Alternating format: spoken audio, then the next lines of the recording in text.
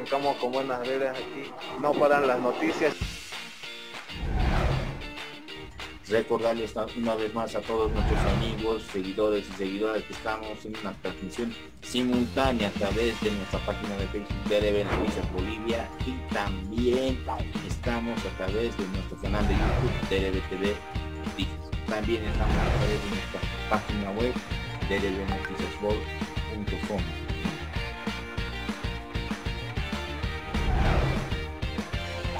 ¿Qué tal Douglas? Hola gente, bienvenidos a la Mañana Digital.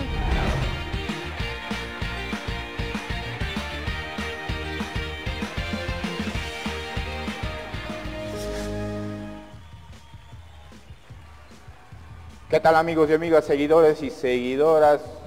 Esperemos que estén muy bien. Estamos en el ombligo de la semana, el programa número 160 de la Mañana Digital y junto a ustedes pues nos ponemos ya a abordar el día, salidas tímidas de sol después de unos dos días de frío y hasta registro de nevada en el altiplano del país.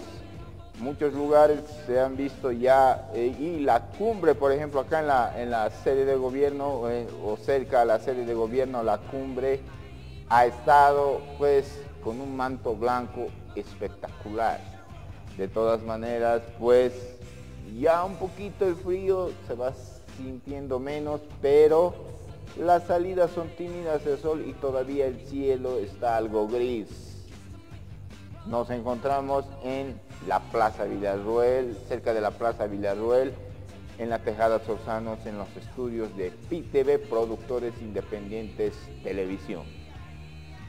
Comentarles pues que ya nomás tenemos alguna información de último momento, por favor vamos a informar a nuestros seguidores en torno a Ucrania. Por favor, ponemos un tonito de tema, que el tema es un poquito más serio, producción. El detalle es el siguiente, que el preside, el, eh, según informaciones de inteligencia de Rusia, en los próximos días ya se va a definir algo más serio en torno al futuro del el país. Desde Moscú se señala que se está analizando más que todo la soberanía de Rusia. Así que vamos a ver el detalle durante las siguientes horas. Muy interesante, según un agente de inteligencia ruso, ya saben, se está analizando el futuro de Rusia. ¿Cuál va a ser el futuro de Rusia? ¿Seguirán con la invasión a gran escala en Ucrania? ¿Retirarán las tropas de Ucrania?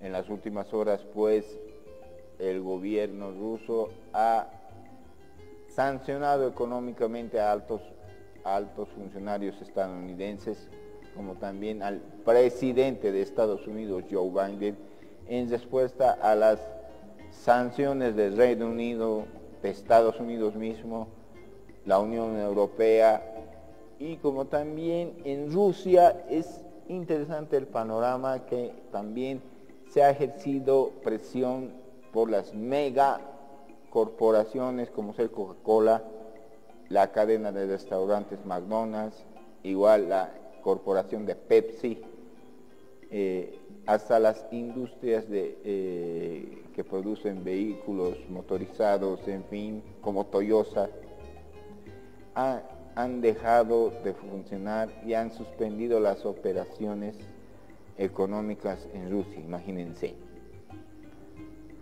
Así que mis amigos, vamos a estar atentos a la información que va girando en torno al conflicto ya entre Rusia y Ucrania, la invasión rusa, rusa en Ucrania que está asediando a la capital hace más ya de una semana.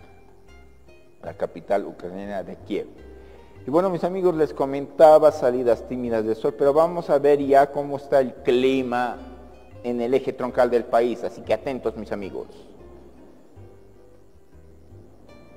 Comentarles que en la sede de gobierno actualmente se sienten 7 grados centígrados, la mínima, la mínima fue de 2 grados y se espera una máxima de 11 grados.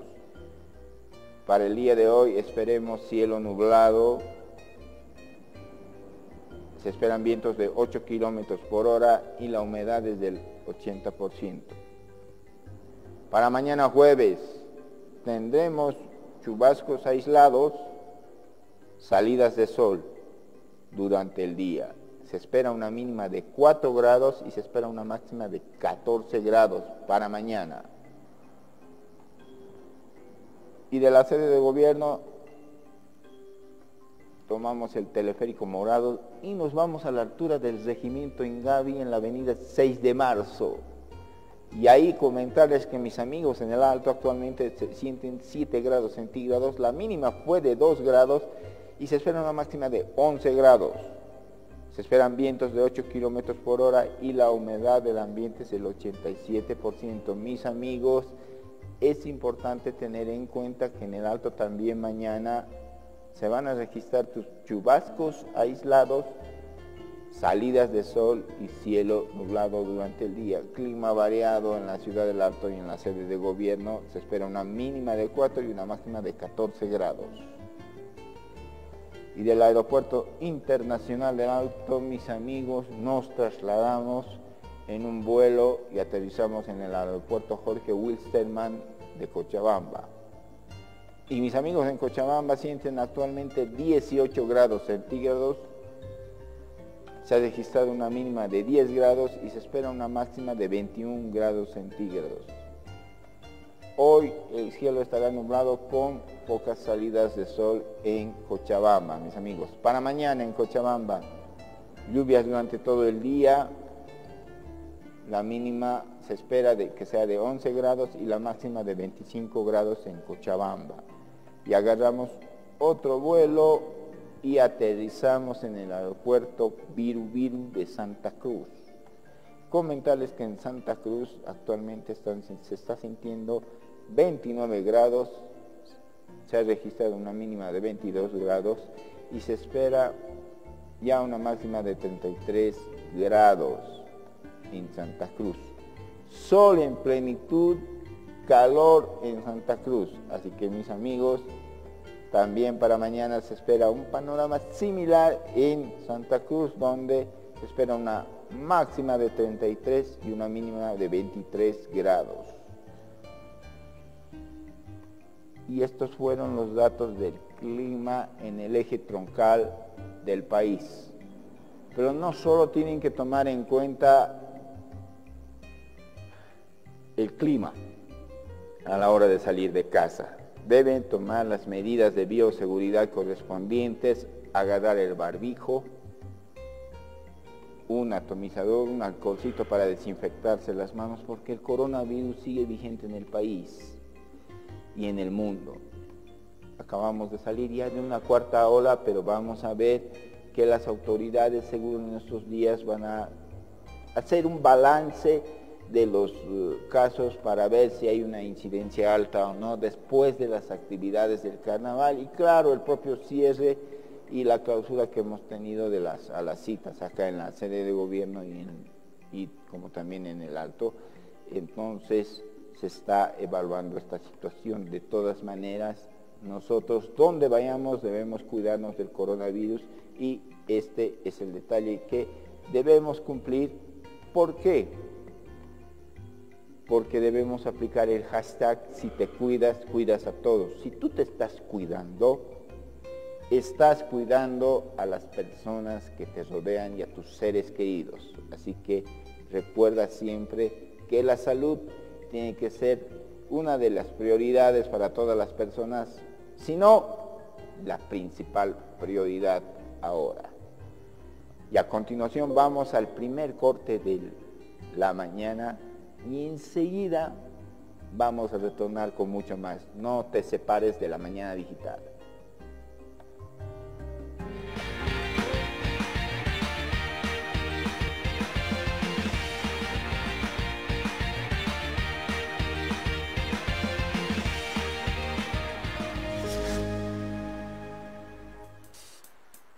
Amigos,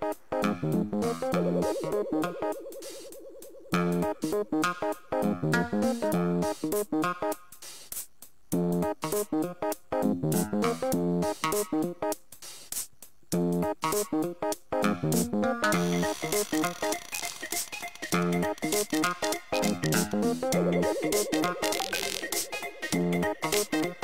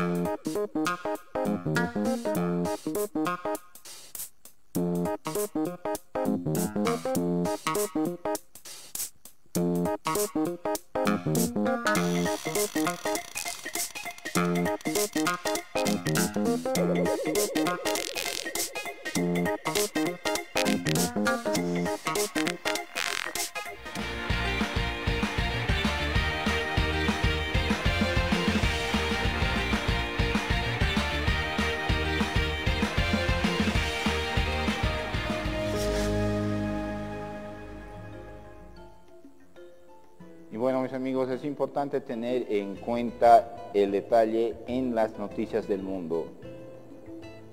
A continuación vamos a ver que 1,4 millones de niños huyeron de Ucrania por el conflicto con Rusia.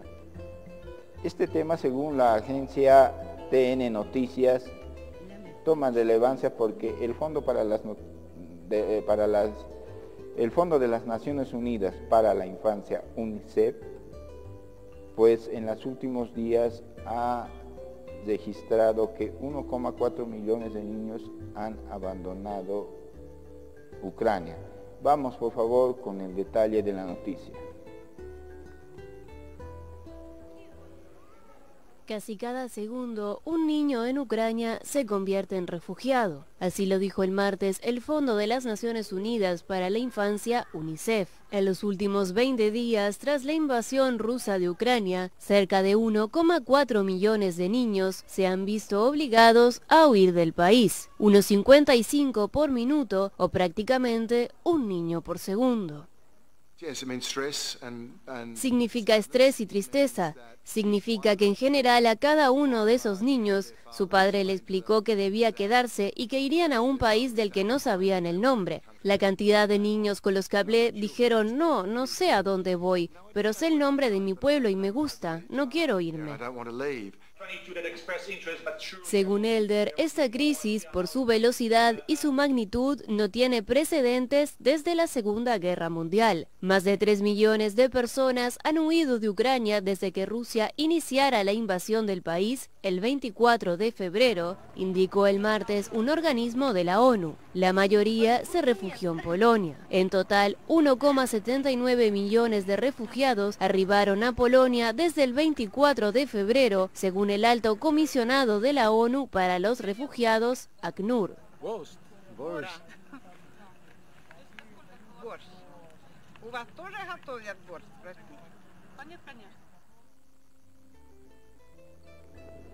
Y es importante tener en cuenta que tenemos mensajes importantes.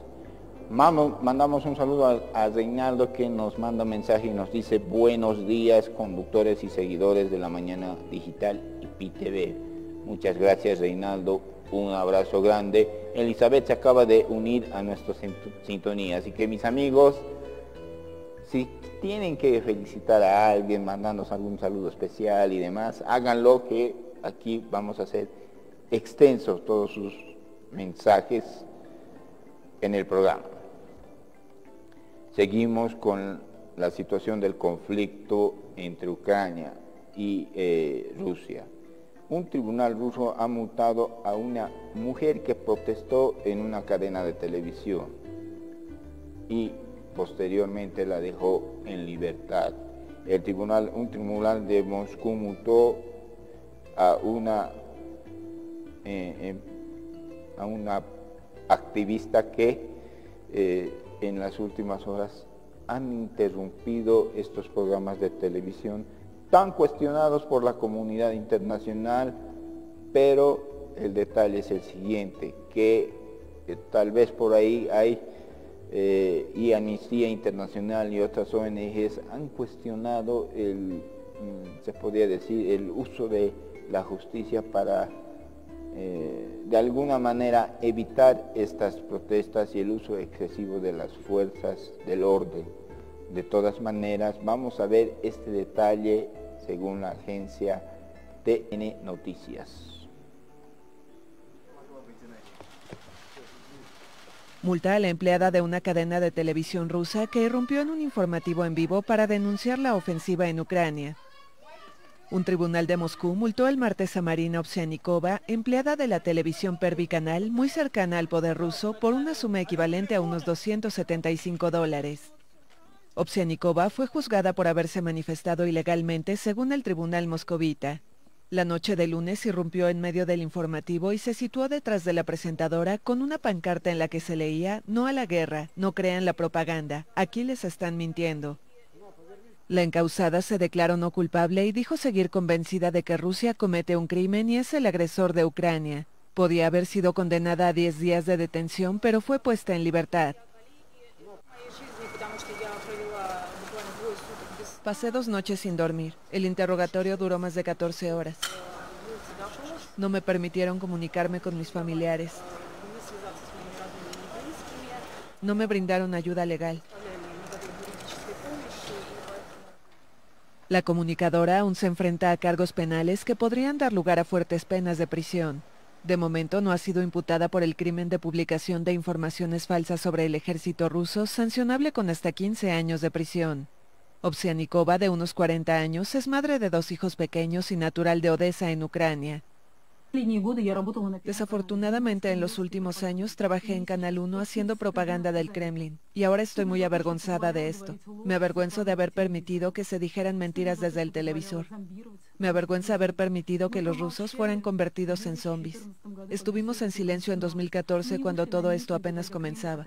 No fuimos a las protestas cuando el Kremlin envenenó a Navalny. Solo observamos en silencio este régimen antihumano. Ahora todo el mundo se ha alejado de nosotros y diez generaciones de nuestros descendientes no lavarán la vergüenza de esta guerra fratricida.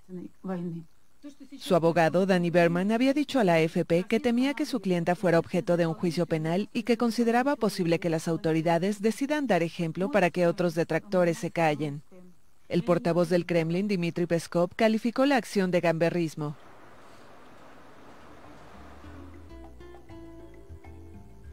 A continuación vamos a ver una nota de la agencia Milenio. El detalle es el siguiente. La película, la primera versión de la película El Padrino cumple 50 años. La película dirigida por Francis Ford, protagonizada por un realmente eh, eh, la película está con Al Pacino, por ejemplo, un reconocidísimo actor en esta película. Pero miren el detalle que tiene esta nota que es muy interesante. Cuando el filme se estrenó, se hizo una proyección exclusiva para la mafia. Datos curiosos que no sabías sobre El Padrino. La película se rodó en 120 localizaciones de la ciudad de Nueva York, Brando sacó la voz de Vito Corleone, imitando la del mafioso real Frank Costello. El jefe del crimen organizado Joe Colombo y su organización la Liga Italoamericana de Derechos Civiles iniciaron una campaña para impedir el rodaje de la película. A pesar de ser una película sobre la mafia, la palabra mafia o mob en inglés no se pronuncia ni una sola vez. Fue la película más taquillera de 1972 y durante un tiempo fue la más taquillera de la historia, hasta que se estrenó El Exorcista al año siguiente. ¿Es El Padrino una de las mejores películas de la historia? Y miren nada más ese detalle muy interesante para que ustedes tomen apuntes y saquen sus propias conclusiones.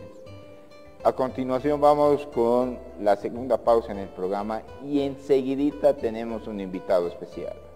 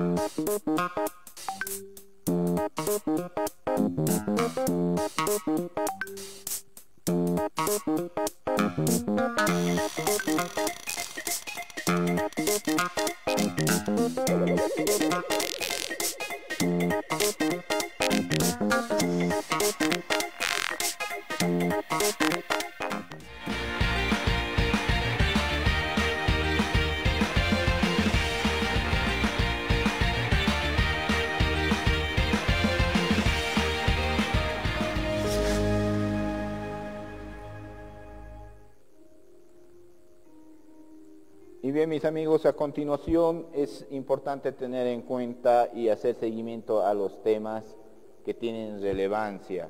Recordemos que hace unas semanas Irupana se ha visto muy afectada, el municipio de Irupana se ha visto muy afectado en torno a las lluvias. Bien, el detalle es el siguiente, vamos a, eh, sí, se ha cortado la comunicación.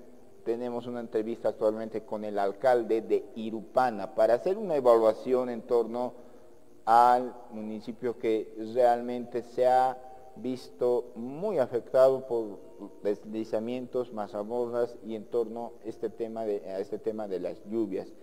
Este detalle es muy importante ya que Irupana es, eh, eh, está ubicado en Sutyungas, en el Departamento de La Paz, entonces nosotros estamos atentos a cualquier detalle que se va dando en torno a este tema.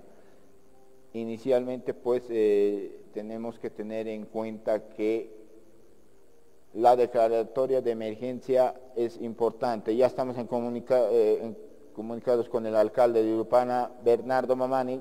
Alcalde, ¿cómo le va? Buen día. ¿Cómo está, hermano periodista? Buenos días. Un saludo desde el municipio de Irupana a todos los radioyentes de esta emisora. Alcalde, ¿cómo eh, está Irupana luego de estas eh, lluvias que han vuelto a caer, eh, lluvias torrenciales en el departamento de La Paz y anteriormente ya se han visto muy afectados, alcalde? Sí, justamente estos días estaba lloviendo sin parar, ¿no? Pero las lluvias no han sido tan intensas como la fecha que nos ha ocurrido este desastre natural, pero Sí, persisten las lluvias, hermano periodista. El tema de lo que son caminos, de igual manera, ¿no? Hay derrumbes eh, en diferentes sectores, ¿no? Y las empresas también que todavía no están poniendo de su parte, pero estamos ahí, son persistentes las lluvias y bueno, pues no sé, seguramente este mes me será para luego ya entrar pues en lo que es ya el deceso de las lluvias.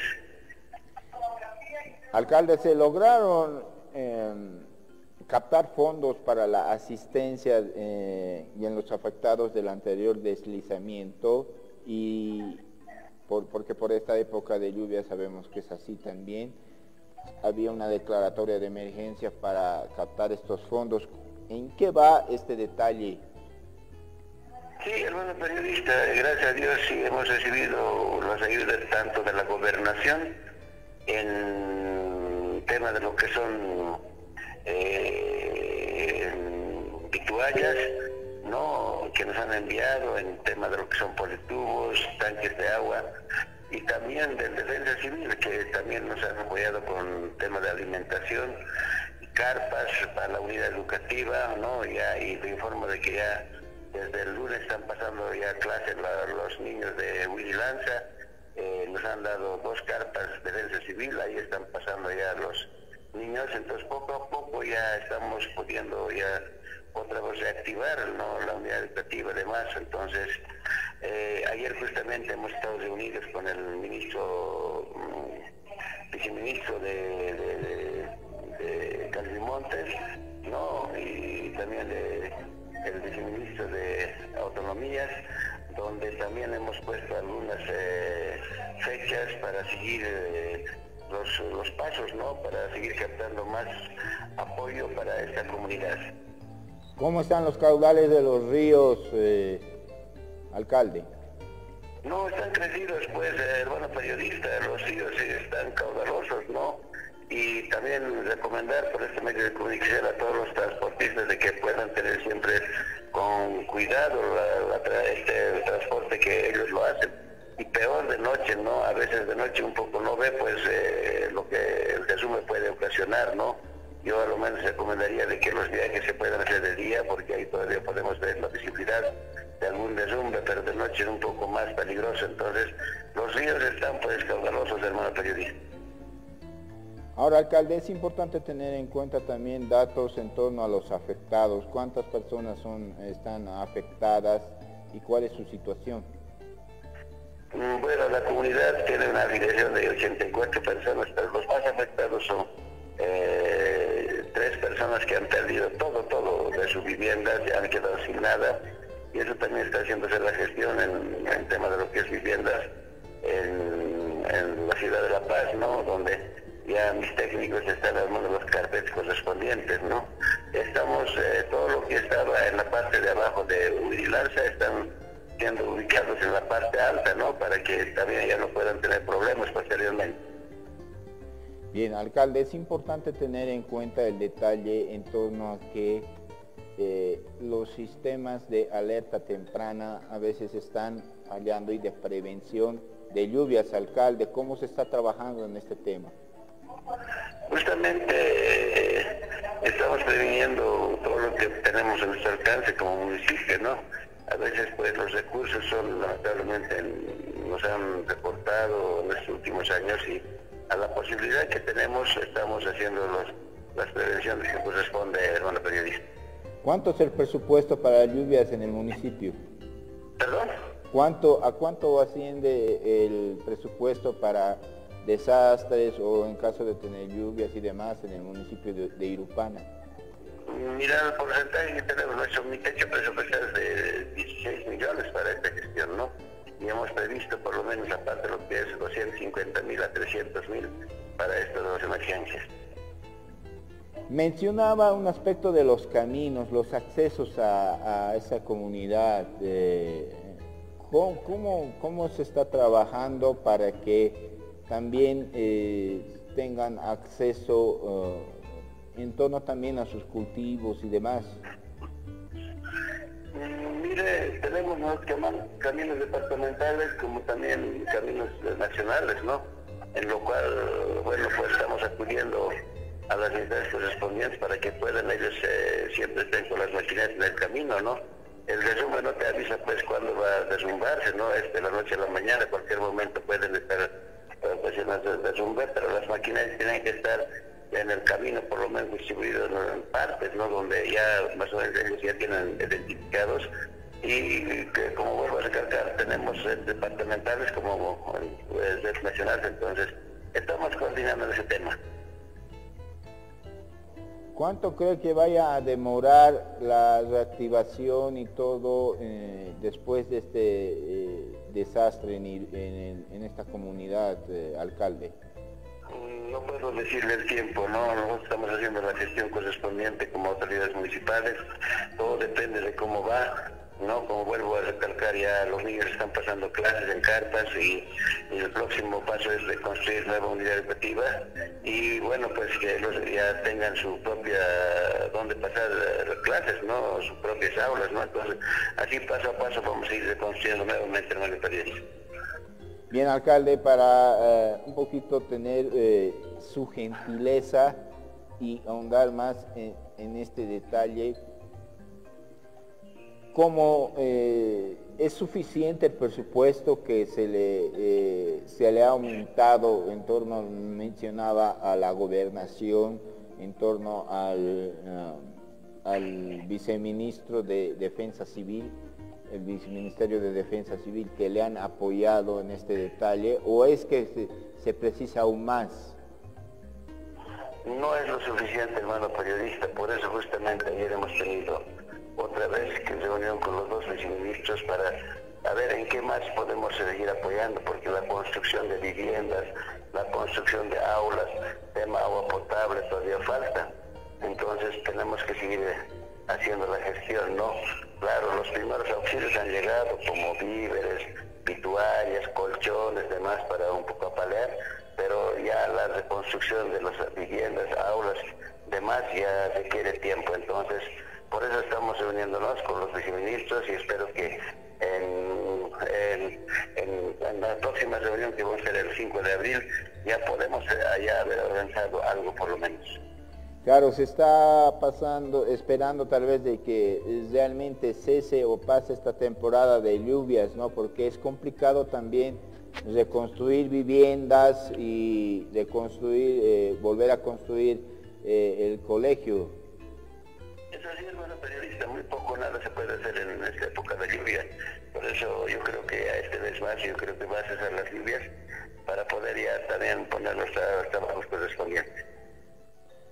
Bueno, alcalde, eh, agradecemos su gentileza y esperemos pues que eh, la situación vaya mejorando. Pero antes de despedirlo, eh, si algunas personas tienen que dejar, quieren dejar alguna donación, ¿dónde lo pueden hacer?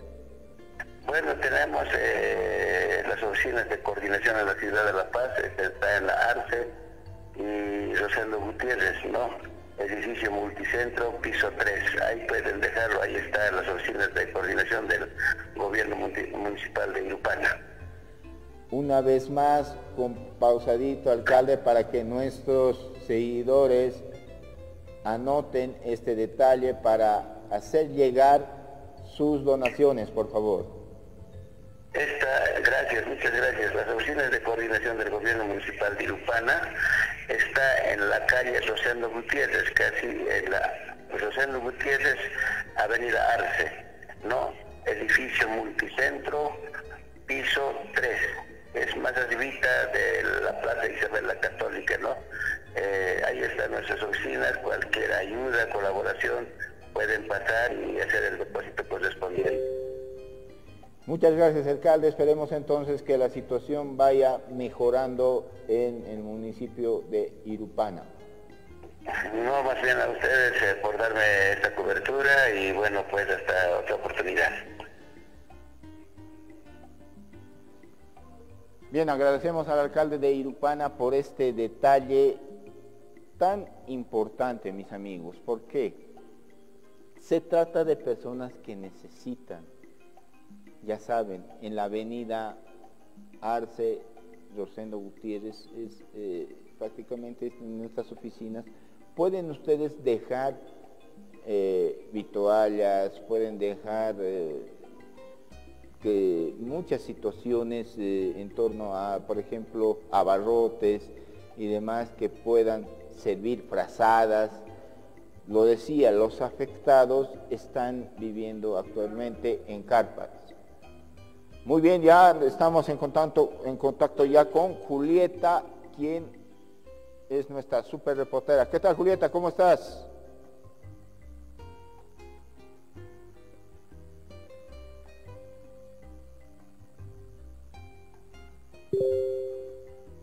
Bien, mientras se va conectando Julieta, comentarles este detalle. Entonces es importante tener en cuenta la ayuda que necesita Irupana en estos momentos. Tenemos que tener muy en cuenta este detalle. ¿no? Entonces vamos a tener eh, realmente eh, el detalle y como verán los estudiantes están pasando clases, los niños en carpas también y en carpas también es que se están eh, acogiendo y mírense, lastimosamente, el clima no ha estado ayudando mucho, no ha estado ayudando mucho. Entonces, mis amigos, este es un tema que debemos tomar en cuenta, ¿no? Y apelamos a la solidaridad no solo de los paseños, sino de todas las personas a nivel nacional para que hagan llegar sus donaciones. Nosotros vamos a, las, a la siguiente pausa en el programa y enseguida volvemos con más.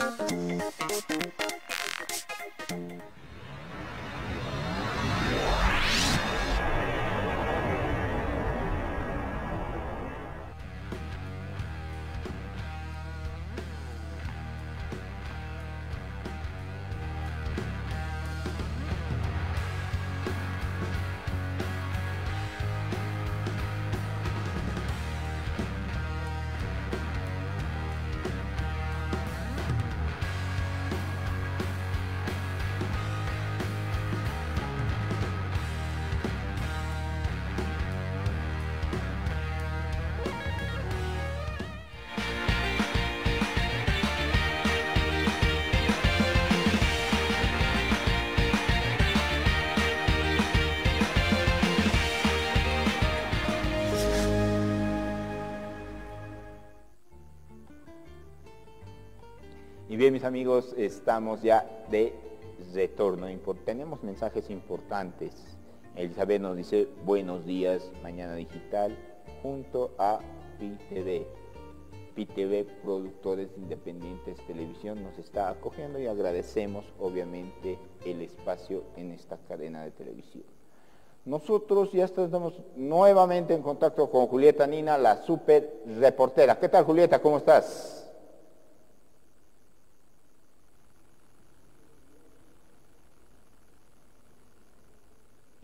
¿Qué tal Douglas? Buen día, amigas, amigos, bienvenidos a la Mañana Digital. Douglas, lo de la tecnología todavía no es mío, creo. Estaba hablando sin activar el... Sí, no, está bien Julieta, está bien. el detalle es importante junto a ti. ¿Qué novedades eh, tenemos? Pero antes, Julieta, mi equipo ganó. ¿Qué podemos hacer? Nada, nada, nada, ¿Cómo nada. nada? Me Absolutamente. Mi equipo entró con el, Hemos con el equipo B, entonces, más bien yo creo que ustedes eh, podían haber goleado, pero no aprovecharon la oportunidad. No, así que el viernes te esperamos en el set con la polera del Bolívar, por favor, Julieta. ¿No? No te acuerdes, dicen desde allá del, en el- de esa producción, Julieta. Jamás. Jamás. Yo soy del tigre, no me cuerro. Además de ser del tigre, soy potosina, Douglas. Los potosinas jamás nos cuerremos. Entonces, la esperamos el viernes, por favor, en el set con la polera del Bolívar, ¿está bien? claro, ya, ya te dije, me va a dar alergia y todo, pero no hay problema. Está bien, Julieta. Bien, vamos a lo tuyo. ¿Qué información tenemos, Julieta? Uy, Douglas, a ver.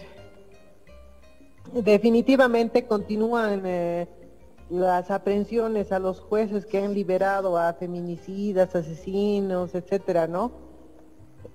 Eh, se ha conocido ayer eh, que han aprendido a un juez del alto también que ha que ha liberado a un sujeto que estaba con detención preventiva in- eh, imputado por eh, feminicidio. Ya lo han aprendido, imagino que en las próximas horas lo van a cautelar, Douglas. Anoche también se ha conocido que han aprendido a un fiscal y a, bueno, antes ya le, ya le habían aprendido a su pasante, ¿no? Pero ayer le han aprendido al fiscal que eh, le han, dice, dice que ese fiscal cobraba para, para direccionar las investigaciones, ¿no? En las denuncias, entonces es una lástima, ¿no? Como por tres mil bolivianos eh, ha echado a tierra su carrera y, y, y, bueno, lo han enviado. Imagino que también esos cautelares van a ser hoy porque ha sido, o quizás mañana, ¿no? Porque ha sido aprendido anoche. La fiscalía tiene 24 horas para imputarlo y llevarlo a una cautelar. Y como ha sido anoche y, y sabemos cómo trabajan, eh, es muy probable que mañana sean las cautelares de este fiscal Douglas. Entonces este fiscal y un juez han sido aprendidos los, las últimas horas. Ya te decía, uno que está que ha liberado a un procesado por feminicidio y el otro porque cobraba por direccionar las investigaciones. Eso está marcando la agenda de esta mañana, Douglas. Eh, sin embargo, otra cosa que ha llamado la atención ayer es que se ha conocido la imputación formal, Douglas, contra tres ex jefes militares eh, por el caso Betanzos, por una muerte en Betanzos en noviembre de 2019.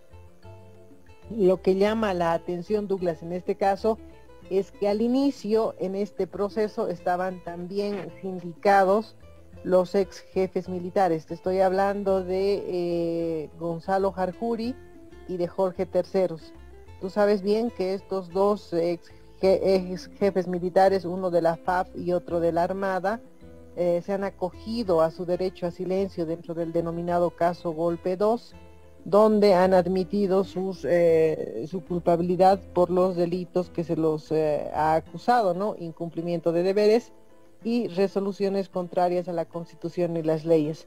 Por este caso han sido sentenciados a tres años de privación de libertad y se espera que el próximo mes dejen el penal ya Douglas. Uno está en Palma Sola de Santa Cruz y Jarjuri está en Patacamaya.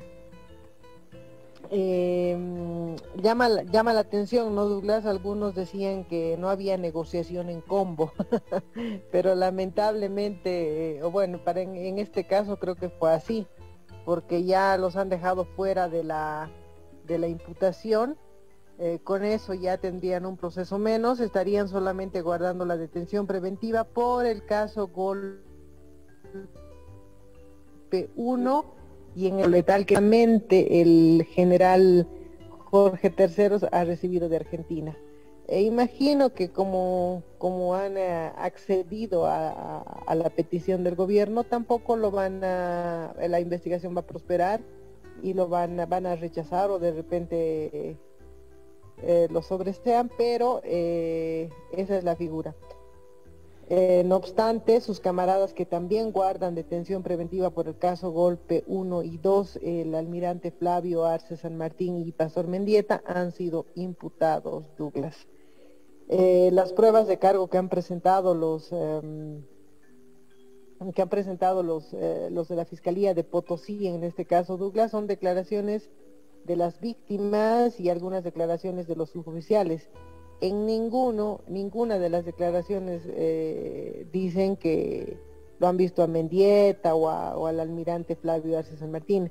Hablan de lo que pasó ese día, ¿no? Que habían varias balas de los militares y que mm, uno, uno, uno de los eh, de los eh, de las víctimas que es la parte denunciante en su declaración dice, eh, a nosotros los de abajo nos han disparado, dice, pero ahí arriba había harta, hartos militares que estaban, recién vienen militares con armamento, dice, entonces un poco complicada su, su, su declaración de la víctima, ¿no? Había un poquito de incoherencia, sin embargo, esa, esa declaración ha sido tomada en cuenta para imputar a los, a los ex jefes militares que van a entrar, imagino, a una audiencia cautelar que todavía no tiene fecha porque, por ejemplo, el, el, general Mendieta aún no fue notificado, Douglas, y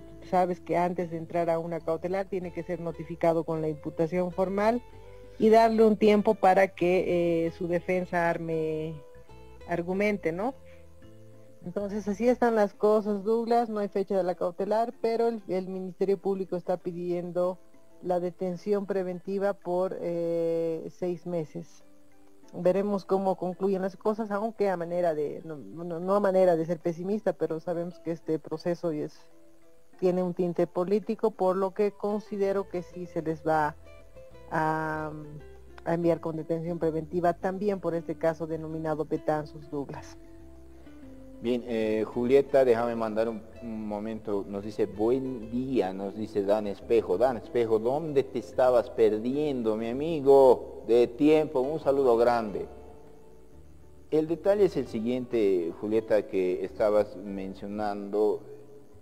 A veces los eh, posibles tratos que se lleguen, porque ese tal vez eh, ha debido ser, ¿no? Porque no llama la atención poderosamente que estos ex jefes militares eh, tengan una sentencia ya en el golpe de Estado 2 y ya no se los tome en cuenta para este tema de eh, las víctimas, ¿no? En este tema de, eh, de sacabos en cata, Julieta. No, no, no, Betanzos, Douglas, Betanzos, es la muerte sí Tú recuerdas que en Betanzos los comunarios, los afines al movimiento al socialismo en 2010, pasando con hacer volar un entre entre la carretera entre entre Potosí y Sucre, hacer volar ese. Imagínate, Douglas, el problema que iba a haber si si, si lograban ese ese evento. Entonces, eh, por eso han entrado policías y militares a impedir ese extremo, ¿no, Douglas? Y ahí es donde muere una persona y dos quedan heridos de bala. Ahora, los denunciantes son los familiares del fallecido y estas dos personas que han quedado víctimas. Y obviamente llama la atención porque Pastor Mendieta era comandante del ejército y también llama la atención, Douglas, en la imputación, eh, la Fiscalía de Potosí refiere que hay un informe, el 00119, no, perdón, no es informe, es una orden, la 00119, en la que Calimán instruye que salga al, ejército, ¿no? Tú sabes que los comandantes no se pueden oponer a una orden, ellos tienen que acatar, no deliberan. Entonces el pastor, el general Pastor Mendieta estaba pues cumpliendo las órdenes del, del, general, del general Calimán. Entonces la, la imputa, en realidad la responsabilidad plena es de Calimán, no de los eh, eh, de los mandos inferiores, ¿no? Que solamente han obedecido. Ahora la defensa de mm, el abogado José Vera que está patrocinando a, a Harjuri y terceros eh, dicen que ellos han argumentado para después de su de, de que la armada y la fuerza aérea boliviana no tienen bases en Potosí y que por ello no podían dar ninguna orden y se los ha excluido de la de la imputación por ello. Sin embargo, ah, bueno, todo, todo, todo hace presumir que la negociación por el caso golpe 1, uh, golpe 2, no solamente es por el, en el caso Betán, caso Armas en el caso del general Terceros, y en el caso golpe 1, ¿no? Quizás les puedan dejar defenderse en, en detención domiciliaria, Douglas. Claro que sí, Julieta, ese es el detalle entonces y llama poderosamente la atención que si se siguen destapando sobre todo hechos de corrupción en, la justicia, ¿no? Eh, esperemos que todos estos casos que se están ya develando eh, con situaciones que jueces van liberando a delincuentes, pues eh, se llegue, eh, no solo se lleve un proceso administrativo y se los destituya como tal, sino también eh, se haga un proceso penal y se llegue realmente a las investigaciones a fondo ¿no? de la situación para que el próximo, los próximos jueces que vayan asumiendo este rol, Julieta, la piensen pues eh, mucho antes de hacer este, este ilícito. Y además se, tiene que hacer una investigación muy a fondo porque en muchos casos se, trata de consorcios de fiscales, jueces y abogados mismos que eh, de alguna manera llegan a, ciertos acuerdos para que estos fallos salgan.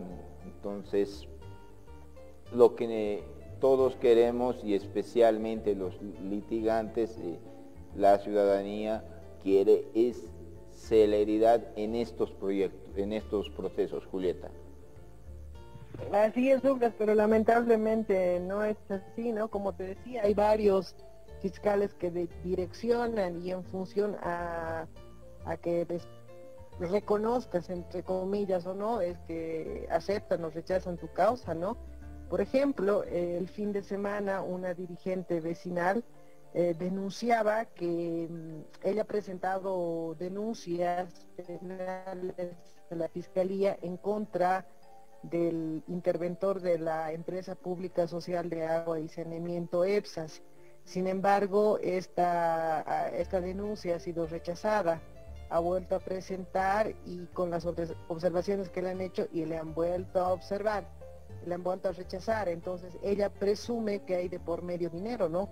Porque mm, la denuncia fue, Douglas, porque EPSAS ha adquirido dos boquetas con el doble de precio de la cotización normal. Es decir, eh, no recuerdo eh, por me parece que me, por eh, adquirido dos volquetas por cerca de 8 millones de bolivianos. Han ido a hacer la cotización de las mismas volquetas y han cotizado eh, más de 4 millones. Entonces la diferencia es casi el doble, ¿no?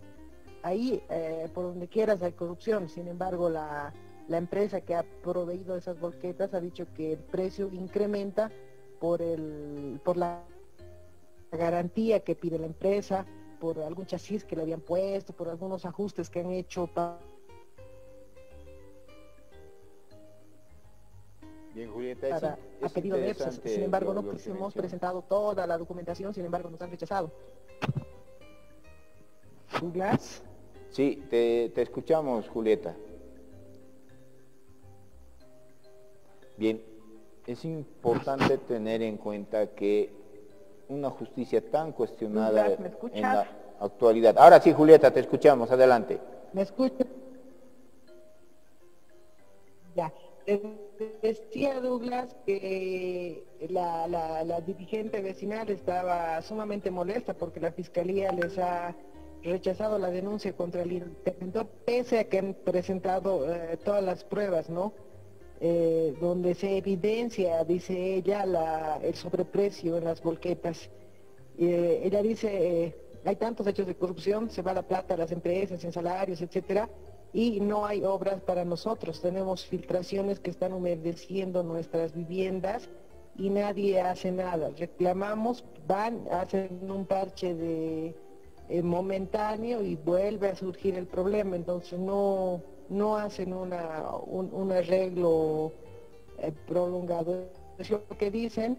Entonces hay que esperar, eh, veremos qué es lo que pasa, ¿no, Douglas? Eh, la, dirigente vecinal también estaba, ha denunciado que el interventor ha variado su organigrama, tiene jefe de gabinete que, su salario es de bolivianos 11 mil, lo mismo que el coordinador de movimientos sociales y el chofer que gana 7 mil bolivianos. Ella dice, ¿qué gabinete puede tener un interventor? No es un ministerio. Entonces, todo el dinero de que recauda EPSA se estaría yendo, dice la, la, dirigente, a bolsillos de los funcionarios y no a la población con obras, que es lo que se requiere. Bueno, Julieta, realmente es lamentable todo lo que va pasando, Julieta, y los funcionarios eh, o los legisladores en el Parlamento, la, por ejemplo, la Constitución les atribuye una fiscalización y mantener vigilantes a todos los funcionarios de eh, la justicia, los operadores de justicia. Sin embargo, ni el oficialismo ni, ni la oposición se ocupa de esos temas. Julieta, tenemos actualmente una comisión que poco o nada se conoce del trabajo que van realizando Julieta y que esperemos que ese informe sirva también para que este tipo de casos, este tipo, este tipo de casos eh, nos lleve a un, alguna reforma judicial, pero en serio, Julieta. Sí, lamentablemente, Douglas, nuestros asambleístas, tanto de oposición y legislación, están durmiendo, ¿no? Están peleando por ahora por el tema del defensor del pueblo, que más bien han entrado en consenso, pero no hacen nada más allá. Por, por todas estas denuncias que ya han sido públicas, Douglas, ellos mínimamente tendrían que pedir un pie o un pie o un pío a, al ministro de agua, ¿no? que, es de quien depende EPSAS, porque EPSAS está intervenida. Entonces, eh, seguir usufructando, en este caso, con el dinero de los paseños, ¿no? Claro, Julieta, muy lamentable la ah. situación y es... Son los que pagan el servicio de, agua. Sabes que en la situación, que la situación actual un, un, profesional no llega ni a veces ni al salario básico, pero tiene que esperar el trabajo. Sin embargo, hay un chofer que gana 7 mil bolivianos Douglas mil dólares. Lamentable, Julieta, lo que está ocurriendo en esa según la denuncia de una dirigente vecinal. Bien, Julieta, el, el, tiempo es nuestro principal enemigo. Agradecerte por el despacho correspondiente y coordinamos para tenerte el día viernes en acá en el set, Julieta.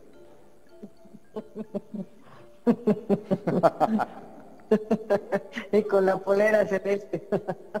no importa. Yo cumplo las apuestas, soy del tigre. cocina además. Un abrazo grande, Julieta. Cuídate, Douglas. Buen resto de jornada. Chao, gente. Hasta el viernes. Hasta el viernes, Julieta. Nosotros a continuación vamos al siguiente corte y enseguida retornamos con los deportes.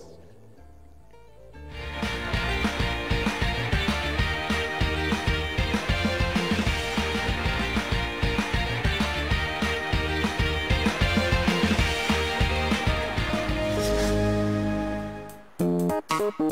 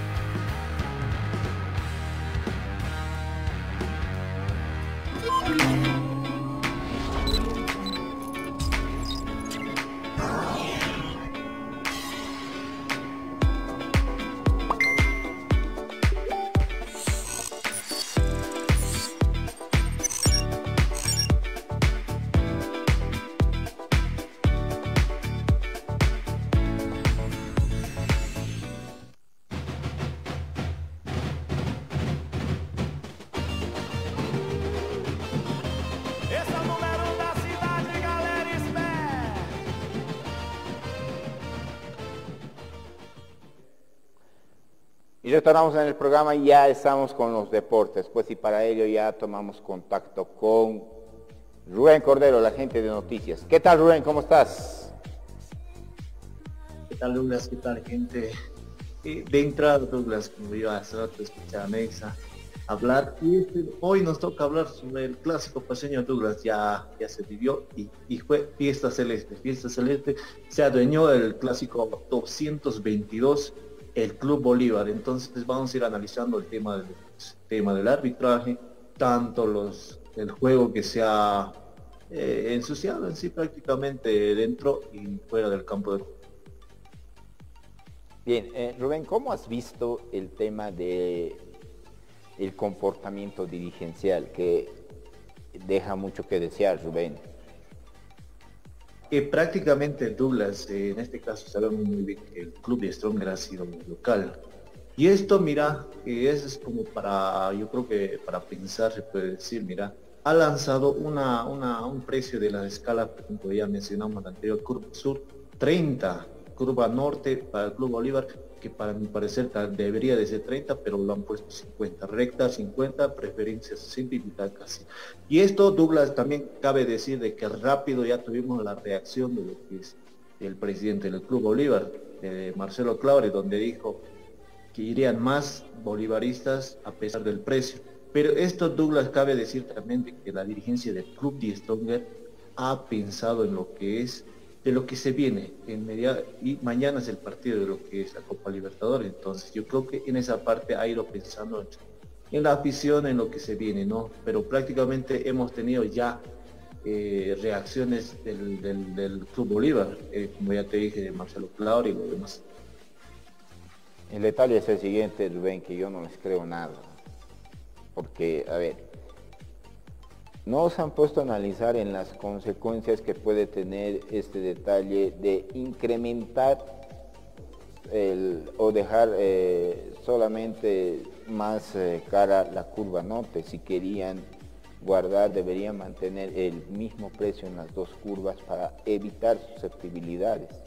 Es una forma de provocación y sabiendo cómo reaccionan los dirigentes a la hora. Tampoco se justifica la reacción del presidente Marcelo Claude, de quien eh, ha llamado, sí, a asistir, al, como lo decías, al, público celeste que se ha dado cita en, más, eh, con más mayoría, se puede decir, en el Siles, en el clásico del lunes, pero el detalle es el siguiente, que ofende también, ¿no? Ofende y, de modo con Audi y puntos suspensivos. Me parece que este detalle no se debería eh, dar, porque estamos hablando de eh, las esferas de altos dirigentes de dos importantes clubes deportivos en el país. Y eso caldea o se podría decir sube más pues la tensión entre eh, previo al clásico paseño. Y eso también influye en la plantilla de los jugadores. No tengo nada contra el Strong, sí, sí saben todos que yo soy bolivarista, pero el detalle es el siguiente. Me parece que algunos jugadores están confundiendo la garra con el juego brusco, ¿no? Ese es el detalle. y de la otra parte, también hay juego brusco. ¿Por qué? Porque este detalle de la, de la dirigencia son también eh, ese mensaje que están transmitiendo se transmite al técnico, se transmite a los jugadores, porque no es que los, dos, eh, que los jugadores y los directores técnicos de ambos equipos estaban bien concentrados, tan concentrados de que no han tomado atención en las publicaciones de sus, eh, sus dirigentes, de los dirigentes de su equipo. No es así, saben y recepcionan ese mensaje. Y en vez de que el clásico paseño sea una fiesta, pues lo convierten ahí en una situación de, no sé si guerra, ¿no? Entre, eh, entre los dos eh, equipos. ¿O qué dice Rubén? Así es, Douglas, ¿no? Prácticamente ya antes del clásico, antes del juego, ya había, como ya, ya hacemos ya una pelea dirigencial, se puede decir, la respuesta tanto de Flaure y demás dirigentes, pero prácticamente, no solamente de los dirigentes, de hablo también de donde antes del partido también subieron, no sé si, si viste un poste ahí colgado, Choli pillado será linchado, o sea, prácticamente ya estamos ensuciando lo que es el clásico de entrada. Y eso hablamos de, entrada antes. Y luego ya después del partido, después del juego, ya se ha visto otro tema, tema de lo que es tanto el brusco de los jugadores, o sea, Patito, o sea, es un tema muy aparte también Entonces, totalmente yo pienso, Douglas, eh, desde entrada se ha ensuciado entrada. El detalle, ahora pasemos al juego brusco. ¿Cómo has visto este tema, Rubén?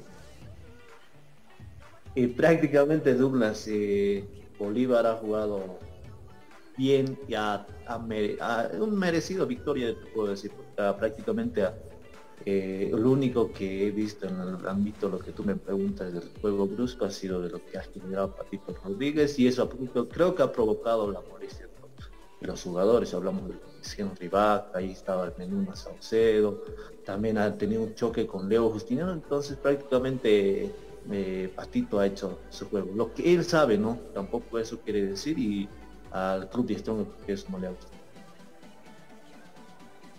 El detalle es el siguiente. Leonel Justiniano, eh, Ursino, han entrado en una situación tremenda. Henry Vaca, lo que mencionas, el, el Patricio Rodríguez. El detalle es el siguiente. Saben, cuando uno está y muestra su talento en el campo de juego, es un espectáculo. Y no puedes eh, cuestionar, a modo de ver, de que tal jugador esté haciendo maravillas en el campo de juego. Porque si fuera así, mucha, imagínate eh, que le a hacer una pinta a Neymar, por ejemplo, o al Mbappé. No hacen pintas, no, no juegan así juegan, pues, ¿no? Les gusta hacer eso. Entonces, y, me parece un pretexto no válido. Para comenzar, el Tigre tiene una plantilla realmente interesantísima. Está Henry Vaca, está este jugador Amaral, que tienen ese, ese manejo dúctil con el balón. Hubiera sido interesante que Henry Vaca esté haciendo esas, esas jugadas que hace muchos partidos. No las ha hecho, no sé por qué. Situación personal de él. Y también en declaraciones eh, insulta a Patricio Rodríguez por jugar así. El clásico se tiene que jugar así.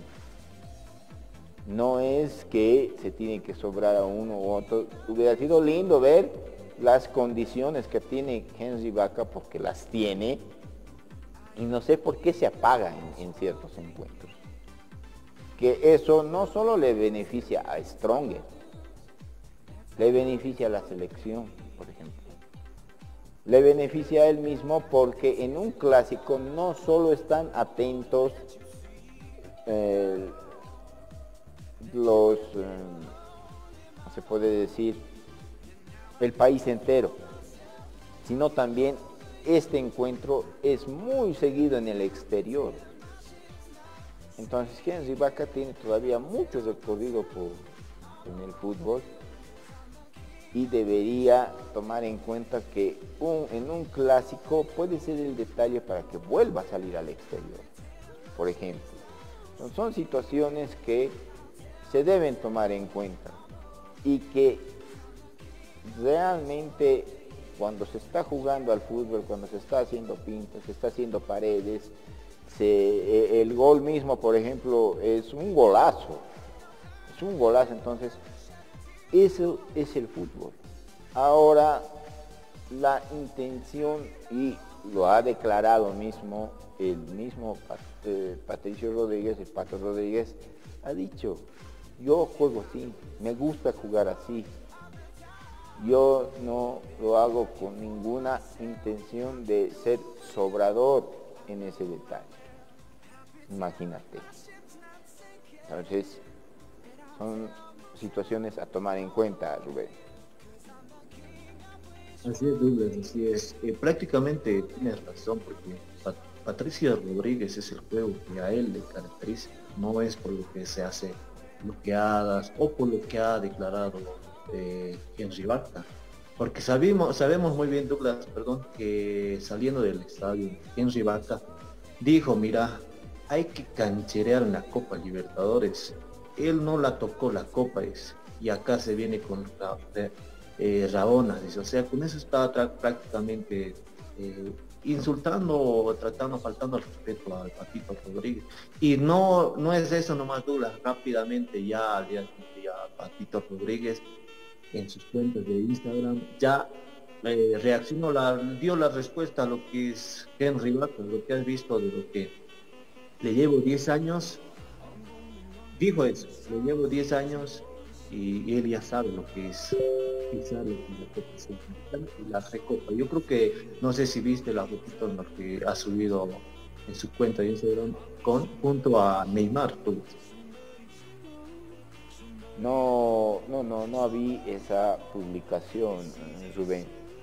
Ahora el detalle es el siguiente, que también, que también eh, Patricio Rodríguez respondió a las agresiones, o sea, jugó también fuerte en ciertos detalles del partido, o sea, aquí no vamos a, proteger, a proteger a nadie. Y el juego brusco estaba en el árbitro, que es lo siguiente que vamos a tocar, Rubén. ¿Cómo has visto el arbitraje? Y prácticamente Douglas, el tema del arbitraje estaba en, su plenitud un 70-80% bien. Pero acabo de decir que miran el tema de lo que es el penal supuestamente hecho de Martins a Triverio.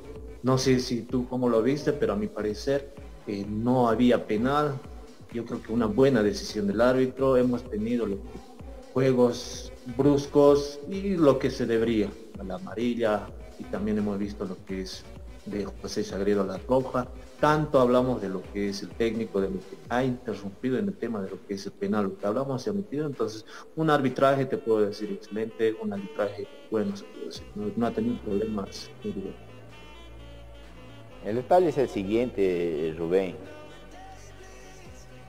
cuando comienza a jugarse de manera brusca, el, eh, el referee ya tiene que poner realmente, se puede decir, orden en la cancha. ya comenzar a repartir tarjetas amarillas y si son residentes tarjeta segunda amarilla y roja. Sagredo salió expulsado. Genial, salió expulsado porque también estaba jugando bruscamente. Pero también jugadores del Stronger, eh, hay situaciones en las cuales se tiene que evaluar con detalle.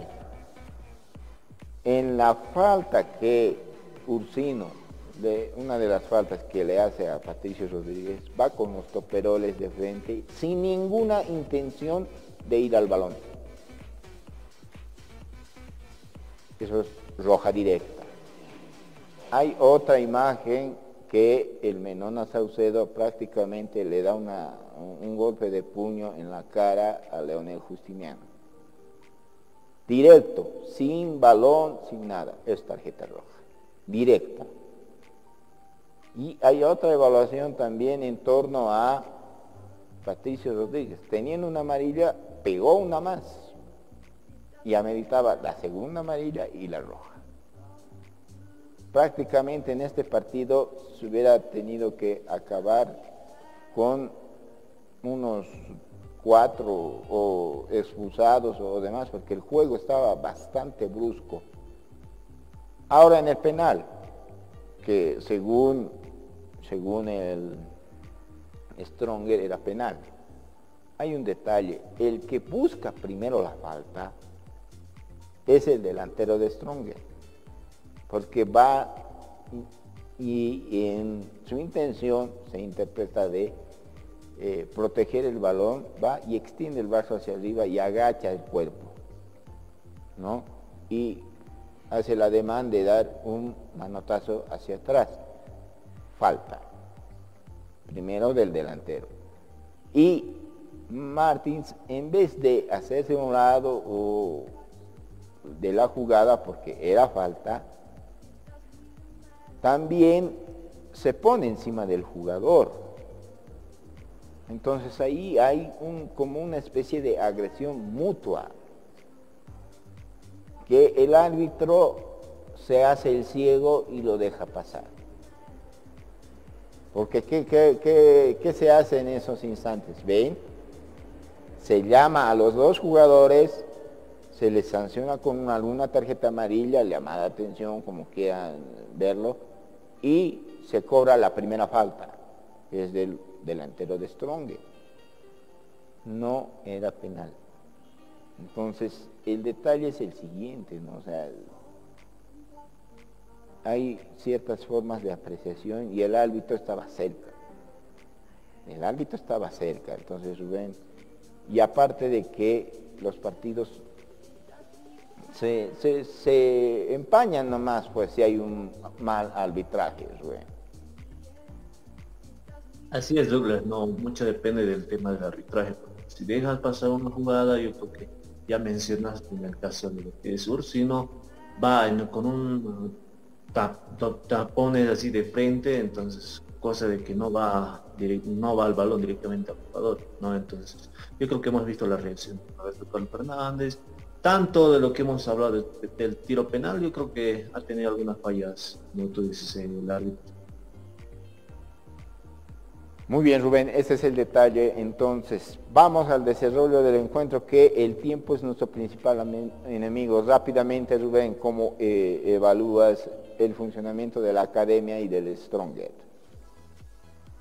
prácticamente, Douglas, como tú dices, el tiempo es nuestro enemigo. Eh, mira, un clásico sucio de entrada, como ya te dije, pero un clásico que se debería de jugar, como se digo, a muerte, clásico, clásico. Yo creo que un Bolívar ha mostrado, como te digo, un once ideal de lo que es la Copa Libertadores, es casi lo mismo lo que ha repetido, inclusión de lo que es de Omar Rocha, Omar Rocha, perdón, un partido, un Bolívar, como te digo, ampliamente superior, un primer tiempo buenísimo, hemos visto los toques, un equipo de juego, la velocidad, entonces un poquito la intensidad ha bajado en el segundo tiempo. Entonces lo que más resalto a Douglas es en este clásico la inclusión del juvenil Yomar Roche y tanto de Gabriel Villamil, donde han actuado un 80-90% buenísimo. Y ahora en el tema del club y Stronger, pasando a la vereda del frente, ya el club de Strong ha reaccionado como hemos visto en el partido, lo que estamos viendo en, el video.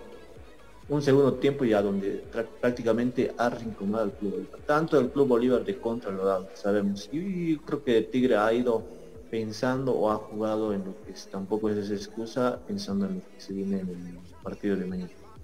Muy bien Rubén, muchas gracias. Eh, prácticamente has graficado cómo se han dado las incidencias del encuentro. Rubén, muchas gracias y hasta el día viernes que estaremos evaluando la participación de Stronger frente a la Universidad Católica eh, mañana jueves. Así es Douglas, así es, no, prácticamente ya como cualquier pincha, seamos de Bolívar, seamos del Tigre, eh, como se dice, eh, eh, enemigo, como te digo, un, partido como una lema, no, no como te digo, enemigos, partidos, enemigos la cancha, amigos siempre. Entonces, ojalá mañana sea una victoria que, cualquier boliviano va a querer, va a ser Entonces esperamos un buen resultado del club Negro y ahora pasando a lo que es Bolívar, Douglas rapidito se le ha dado un, un, vacación de cuatro a cinco días uno, el tema de lo que es convocado de la selección boliviana y otros que se van a ir a, Santa Cruz o a sus temas que vamos a abordar eh, el viernes, Rubén. Muchas gracias. Así es, Douglas. Que estés eh, bien. Nos vemos el día viernes. Así es, Douglas. Permiso, permiso. Muy bien, el detalle es el siguiente. Nosotros a continuación vamos a agradecer a Air Systems Bolivia quienes te ofrecen asesoramiento en marketing digital, tienen para ustedes sistemas de facturación, inventarios y mucho más. Mayor novedad puedes contactarte al 752-26707, 752-26707 y el 697-899-52, 697-899-52. AR System Bolivia es la página de Facebook y arsystembolivia.com es la página web para mayor novedad. Pero también vamos a agradecer a nuestros amigos de Grill House quienes se encuentran en la avenida Estados Unidos, pasaje Puerto Príncipe, a pocos pasos de la calle Panamá, en el edificio Rafaela. Los encuentras ahí, delivery, puedes solicitar al 625-99-600 y al 775-9426. 625-99-600 y 775-9426. Ha llegado la hora de despedirnos, le salva su servidor Douglas Riveros y con ustedes nos vemos el día viernes. Chao, chao.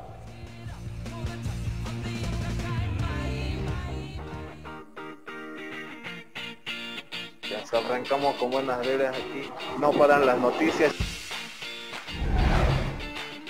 Recordarles una vez más a todos nuestros amigos, seguidores y seguidoras que estamos en una transmisión simultánea a través de nuestra página de Facebook de Noticias Bolivia y también estamos a través de nuestro canal de YouTube DRBTV También estamos a través de nuestra página web drbnoticiasworld.com.